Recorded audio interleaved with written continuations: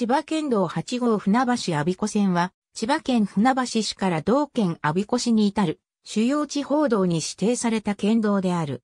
千葉県北西部を縦断する数少ない道路の一つで、ある。ほぼ全線が統計140度線上にある。千葉県法規集に基づく奇襲点及び経過値は次の通り。沿線風景道路北端部の阿鼻子市から柏市の道の駅湘南付近までは片側2車線。道の駅湘南から柏市大島田の国道16号交差部までは現在車線増幅工事中。新鎌ヶ谷駅北入口交差点から馬込交差点まではバイパスで対応済み、馬込交差点から駿河台交差点までは芝山団地入口交差点以等の渋滞が常に特に激しく2車線拡張構想がある。なお、それ以南は片側2車線である。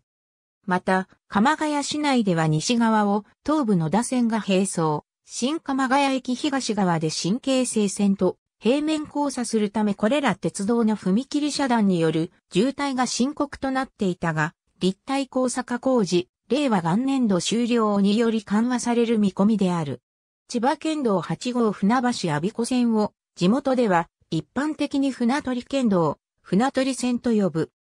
本道は1920年4月1日の建国時で千葉県道船橋取出線として指定され、1972年10月11日の建国時で、県道21号船橋取出線が、千葉県道8号船橋阿鼻子線と変更され、終点も茨城県取出市から阿鼻子市に変更された経緯を持つ。